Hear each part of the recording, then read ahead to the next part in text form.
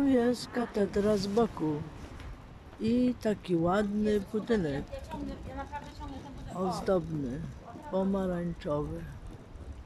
Wszystko wygląda efektywnie.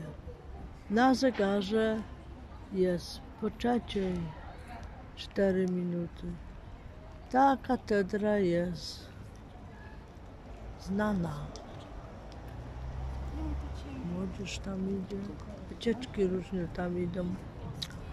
Ale ja teraz nie chcę iść do katedry i do kościoła, bo różnie bywa. Ta katedra jest wysoka. Ma raz, dwa, trzy wieże.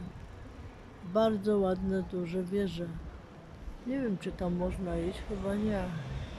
Wiem, że na ratusz można iść, bo kiedyś byłam. Bardzo dziękuję, do widzenia. Katedra jest w Gdańsku.